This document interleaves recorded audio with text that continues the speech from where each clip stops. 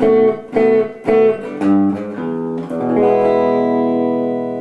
this is Ryan here at Off the Wall uh, Music. And uh, the first uh, tune that I uh, start beginning guitarists off on is a tune called Wipeout, the uh, surf classic.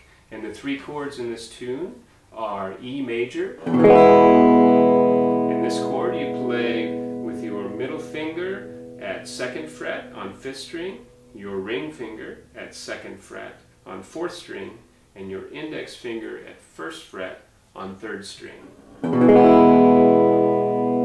The next chord is an A chord, and you play this chord with your middle finger at second fret on fourth string, your index finger at second fret on third string, and your ring finger at second fret on second string. And it sounds like this.